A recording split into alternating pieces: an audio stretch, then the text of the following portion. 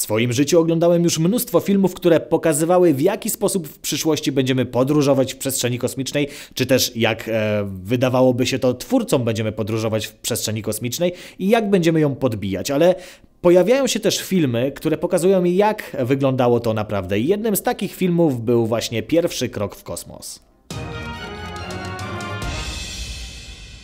Mimo tego, że film powstał w 1983 roku, to natknąłem się na niego dopiero niedawno, już e, w trakcie istnienia astrofazy. Nie pamiętam, czy ktoś mi go polecił, czy po prostu gdzieś wpisując filmy o kosmosie natrafiłem na właśnie te produkcje, e, ale serdecznie, serdecznie już nawet na samym początku po prostu muszę Wam ją polecić. Jest to film, no może nie dokumentalny, na pewno jest to film fabularyzowany, ale pokazujący jak e, wyglądał początek podboju kosmosu w Stanach Zjednoczonych i muszę Wam powiedzieć, że wyglądało to naprawdę, naprawdę ciekawie. E, cały obraz jest też świetnie zrealizowany i po prostu dobrze opowiedziana jest ta historia. Reżyserem jest e, Philip Kaufman, no i po prostu e, wyreżyserował coś naprawdę niesamowitego. Pierwsza część filmu opowiada nam o próbach przekroczenia innej granicy niż e, granica kosmosu, a mianowicie granicy czy też bariery dźwięku. Do tej pory samoloty nie latały szybciej niż dźwięk, no i dopiero mm, Chuck Yeager, bohater pierwszej części tego filmu, pokazuje właśnie jak przekracza historycznie po raz pierwszy, jako pierwszy człowiek tę barierę dźwięku. Leci z prędkością większą niż Mach 1, a w, w swoim samolocie Bell X-1, takim eksperymentalnym samolocie, który nosił w tym momencie nazwę Glamorous Glennis. A tak sobie go właśnie e, nazwali. E, większość tych samolotów właśnie prototypowych nosiło wtedy jakieś swoje takie um, nieoficjalne nazwy i w tym przypadku było to właśnie to. Widzimy więc próbę pokonania tej e, bariery dźwięku. No tutaj nie będę spoilerował, jeżeli powiem, że oczywiście się udało, bo jest to film e, na faktach e, opartych, historycznych, więc no nie, nie bardzo można było tutaj cokolwiek zmienić. Także oczywiście Jägerowi udaje się przebić tę barierę dźwięku, a następnie już te samoloty wysypują się, wysypują jeden po drugim, kolejni piloci e, trafiają do zamkniętych baz wojskowych e, właśnie gdzieś na terenach pustynnych, gdzie tego typu samoloty, tego typu konstrukcje coraz doskonalsze, coraz nowocześniejsze są testowane. Kolejne e, prędkości Mach są osiągane, w tym momencie e, inżynierowie wiedzą już jak budować takie maszyny. Wśród tych pilotów oczywiście no, trzeba też nadmienić jakimi ludźmi są ci piloci. To generalnie bardzo brawurowi mężczyźni, z racji na to, mm, że takich właśnie osób potrzeba było jako pilotów oblatywaczy. Zresztą nie tylko mężczyźni, były też kobiety oczywiście w tamtych czasach, ale no w zdecydowanej mniejszości. Ci ludzie nie bali się ryzyka, ci ludzie wiedzieli, że wsiadając do takiej nieprzetestowanej maszyny po prostu mogą nie wrócić, ale jednak e, ten pęd, ta chęć do bycia pierwszym, do bycia najlepszym powodowała, że wsiadali za ster i lecieli, robili to, to, to co do nich należy. I właśnie wśród tych ludzi rozpoczęły się poszukiwania pierwszych e, astronautów, pierwszych amerykańskich astronautów, którzy mieliby wziąć udział w programie Mercury, czyli pierwszym programie załogowych lotów e, człowieka w kosmos, który powstał w Stanach Zjednoczonych. They are being put through every phase of the astronaut training.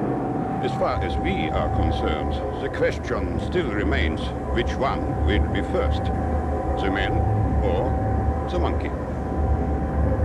We shall see. Drugiej części filmu widzimy przygotowania do lotów, widzimy jak astronauci ćwiczą, jak wyłaniana przede wszystkim e, z e, niesamowicie ciężkich badań medycznych, wytrzymałościowych, psychologicznych.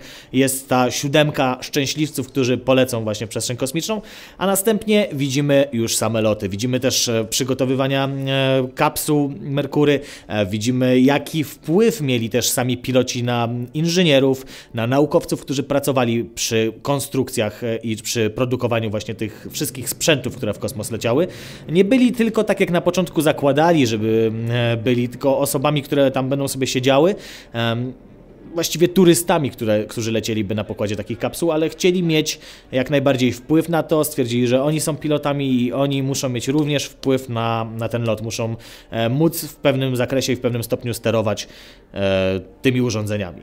No bo w innym przypadku równie dobrze można by było, tutaj cytuję właśnie z filmu, wysłać małpkę i to byłoby właściwie to samo.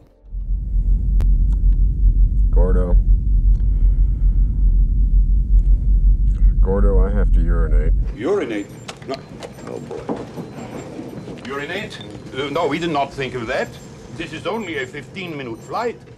Dlatego serdecznie polecam Wam ten film, jeżeli chcecie zobaczyć, jak wyglądały początki programu kosmicznego w Stanach Zjednoczonych, jak wyglądał też e, no, początek wyścigu zbrojeń w kosmosie, czy też kosmicznego po prostu wyścigu między Związkiem Radzieckim a, między, a USA. If we had been given the green light, now we must get something up there quick and dirty anyway at all. Well, what?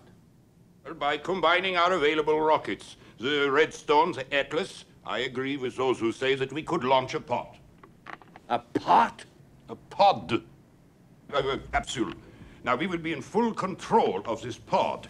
It will go up like a cannonball and to come down like uh, a cannonball, uh, splashing down in the water of the ocean with a parachute to spare the life of the spaceman inside. Spaceman. E, To wszystko w tym filmie znajdziecie. Widać tam napiętą sytuację polityczną między obydwoma krajami. E, Widać też e, cały jakby propagandowy poziom tejże misji kosmicznej, tego programu kosmicznego, jakim było Merkury.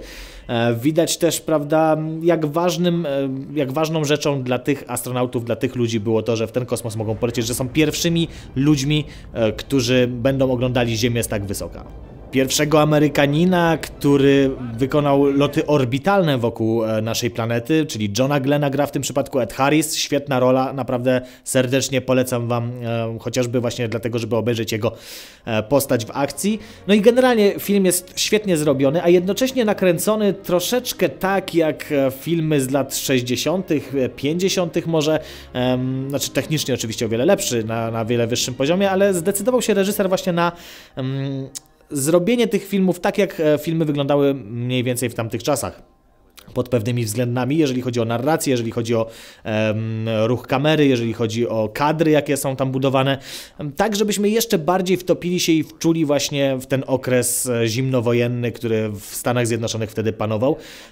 I moim zdaniem to był świetny zabieg. Zresztą nie będę za dużo zdradzał, sami zobaczcie ten film. Nazywa się Pierwszy krok w kosmos e, po polsku, natomiast zagraniczny tytuł oryginalny The Right Stuff. The Right Stuff. Tak to właśnie brzmi. Cóż, zachęcam do oglądania. No i oczywiście w komentarzach piszcie też, jakie filmy o kosmosie Wam się podobały.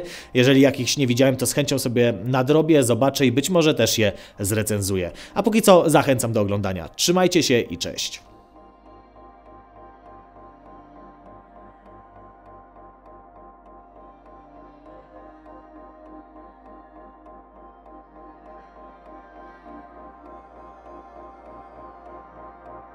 Hello, my lady. Hello, my baby.